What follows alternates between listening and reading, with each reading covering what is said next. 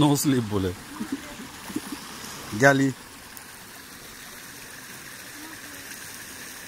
ইফা যদি পড়ে যায় এ পড়ে যাওয়াটা তো ভিডিও হবে না।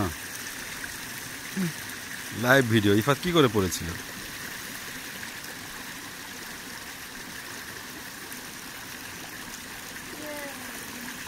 দুদিকে হাত তোল। দুদিকে হাত তোল ভাবি। দাঁতে উঠেছে। ভিডিও কিন্তু চালু।